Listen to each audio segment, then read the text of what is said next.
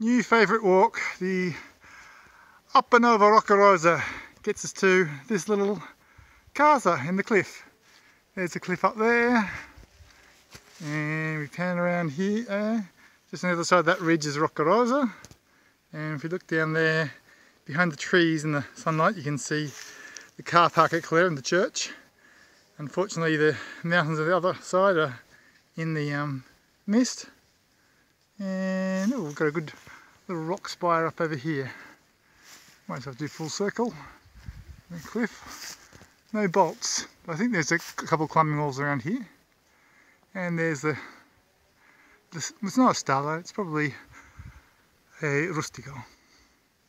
Ciao.